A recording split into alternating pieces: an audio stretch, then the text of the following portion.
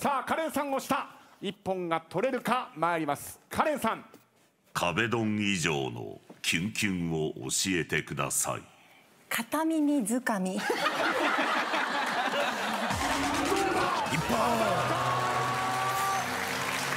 沢カレン最初の回答で見事一本を取ってみせました。片耳にしたか。そう。耳づかみではなく。カレンさん鮮やかとてもそうでした。とてもそうでした。ありえなかったです。さあ3人が一